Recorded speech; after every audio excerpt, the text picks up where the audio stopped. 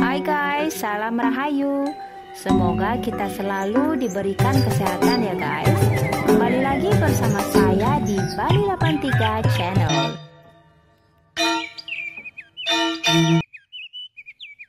Nah, sekarang saya akan menuju ke kawasan objek wisata Pura Besake. Nah, beginilah keadaan Pura Besake hari ini, guys saya akan langsung menuju ke parkir motor dulu. Parkir motor dan parkir mobil sekarang sudah berada di tempat yang berbeda tapi bersebelahan. Di gedung ini adalah khusus parkir motor. Parkir motor ini berlantai tiga, di mana lantai satu dan dua adalah tempat parkir motornya. Sedangkan lantai tiga yang paling atas adalah tempat untuk beristirahat dan ada juga restroom atau toilet. Untuk parkir motornya dikenakan biaya Rp2.000 sekali masuk dan dibayarkan waktu keluar dari gedung ini guys. Di mana pintu keluarnya ada di lantai satu. Sekarang ayo kita lihat parkir mobil dari atas gedung. Nah, dari sini kita bisa lihat parkir untuk roda 4 atau mobilnya, guys. Parkir mobilnya memiliki lantai 4 di mana lantai 2 adalah sebagai pintu masuknya. Sedangkan lantai atas adalah pintu keluarnya. Untuk biaya parkirnya menggunakan tiket parkir elektronik. Sedangkan untuk parkir bus masih tetap berada di tempat yang lama yang tempatnya sangat jauh dari sini. Walaupun parkir bus di tempatnya jauh, para penumpang bus nantinya diantar jemput oleh shuttle bus berupa mobil listrik atau buggy car yang tidak dipungut biaya alias gratis. Nah, inilah Gapura Candi Bentar menuju ke kawasan objek wisata Pura Besaki, guys. Sangat indah sekali dengan berlatar belakang Gunung Agung. Ayo kita melihat loket tiket masuknya yuk guys. Bagi wisatawan yang ingin berkunjung ke objek wisata Pura Besaki, tentunya dikenakan tiket masuk.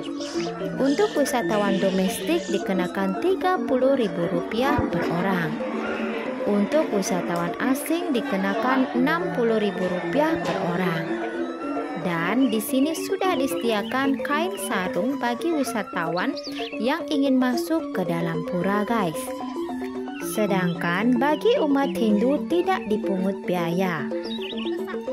Ini adalah mobil listrik atau bagi car diperuntukkan bagi pengunjung yang berusia lanjut, ibu hamil dan balita. Karena dari sini menuju ke Pura Besaki lumayan jauh kira-kira 1 km. Nah, sebelum menuju ke pura, umat Hindu yang ingin sembahyang ke Pura Besaki tentunya harus menyucikan diri dengan cara melukat atau dipercikan air suci di Pura Manik Mas di sini. Tentunya sebelum melukat, kita harus mengaturkan sesajen berupa canang sari terlebih dahulu di tempat yang sudah disediakan.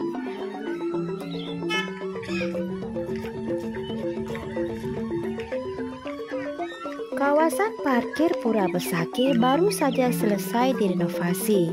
Proyek renovasinya berlangsung kurang lebih satu setengah tahun dari 4 Agustus tahun 2021 dan pada Senin 13 Maret 2023 diresmikan oleh Bapak Presiden Joko Widodo. Dari sini menuju Pura Besakih masih jauh. Jalannya menanjak, cuacanya sangat panas pada siang harinya.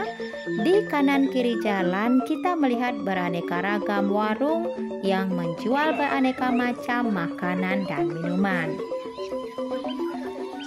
Pura Besaki terletak di Desa Besaki, Kecamatan Rendang, Kabupaten Karangasem kira-kira 2 jam dari kota Denpasar. Pura Agung Besake berada di lereng Gunung Agung, tepatnya di barat daya Gunung Agung, di mana Gunung Agung merupakan gunung tertinggi di Pulau Bali yang tingginya 3031 meter dari permukaan laut. Pura Besaki adalah pura yang terbesar dan merupakan salah satu pura kayangan jagat yang ada di Pulau Bali. Pura Kayangan Jagat adalah tempat suci atau pura utama yang ada di Pulau Bali sebagai bersenananya Dewa Tanawasanga atau sembilan dewa penjaga penjuru arah mata angin di mana Pura Besake berada di timur laut yang merupakan berstananya Dewa Sambu. Sekarang kita sudah sampai di depan Pura Agung Besake. Dari sini kita bisa melihat Gapura Candi Bentar Pura Besaki yang sangat tinggi dan ramai sekali. Hari ini berlangsung piodalan Betara Turun Kabeh di Pura Agung Besaki di mana piodalannya jatuh pada Purnama Kedasa berlangsung 21 hari dari tanggal 5 Maret tahun ini. Selama 21 hari, umat Hindu diperbolehkan melaksanakan persembahyangan ke Pura Besaki. Sekarang saya akan langsung menuju ke Pura Penataran Agung Besaki untuk melakukan persembahyangan dulu. Wah, sangat ramai sekali ya guys. Dan inilah Pura Penataran Agung Besaki. Hari ini umat Hindu sangat ramai sekali melakukan persembahyangan ke sini. Di Pura Penataran Agung Besaki ini merupakan tempat persembahyangan bersama dari umat Hindu yang berasal dari berbagai daerah tanpa memandang kedudukan dan kasta. Hari ini dipentaskan wayang kulit Mahabharata di mana dalangnya adalah seorang perempuan muda dan cantik.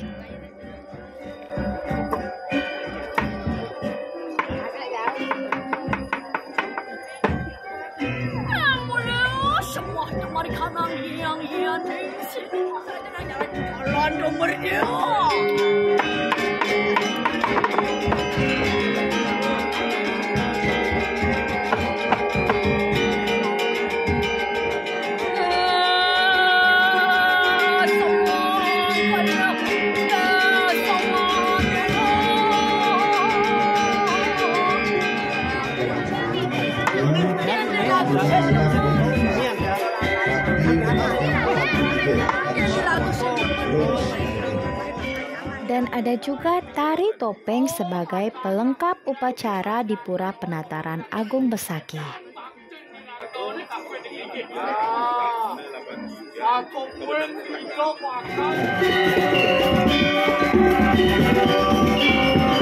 Penataran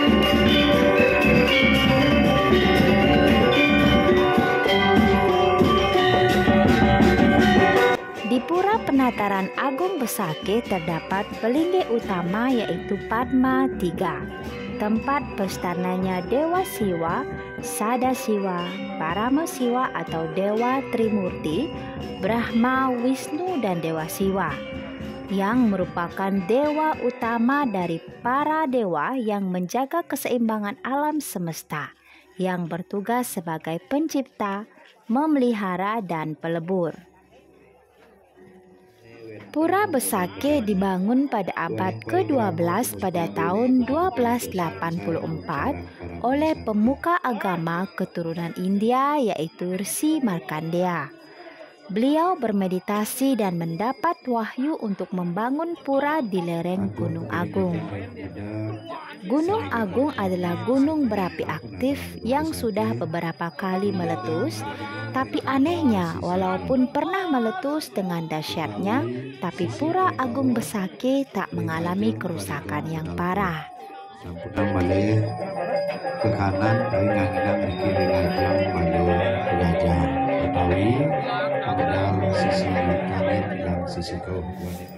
Nah, saya sudah selesai melakukan persembahyangan di Pura Penataran Agung Besaki. Saya akan melanjutkan persembahyangan ke Pura Pedarman yang berada di sebelah timur Pura Penataran Agung Besaki, yaitu Pura Pedarman Ide Betara Dalem Sri Aji Kresna Kepakisan.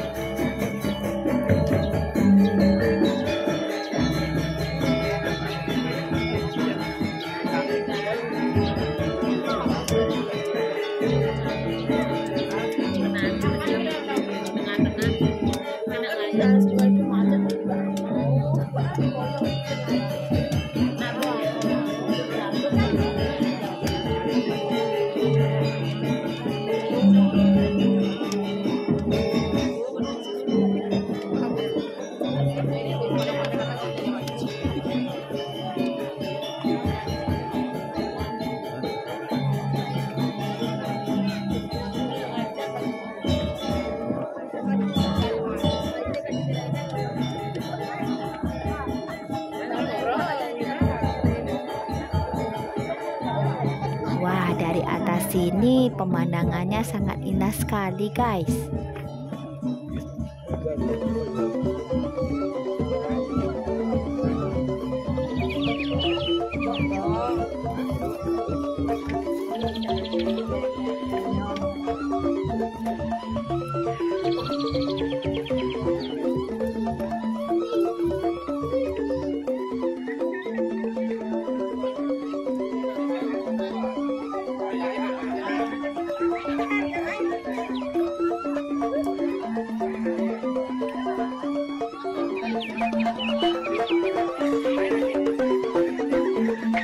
inilah pedarman ide Petara dalam Sri Aji Krishna Kepakisan.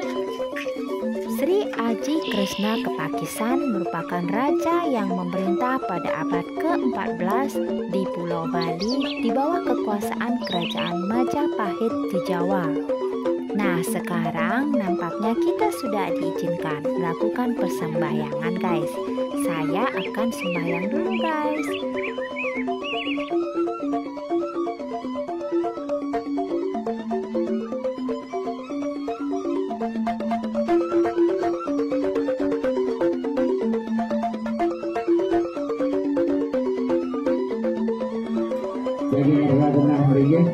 Tidak mengaspal banget, mengaspal banget mengambil tiga.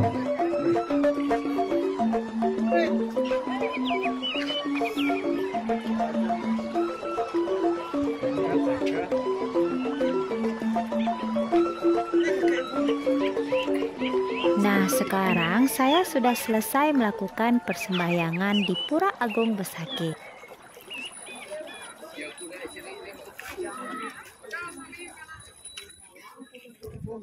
Sekarang saya akan mengajak teman-teman untuk berkeliling sebentar untuk melihat berbagai macam kuliner yang dijual di Pura Agung Besaki.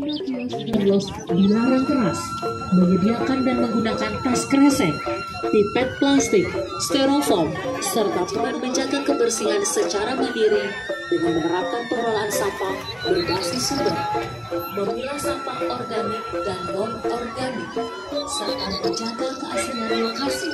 Tiga, Kira-kira simpang nuwun.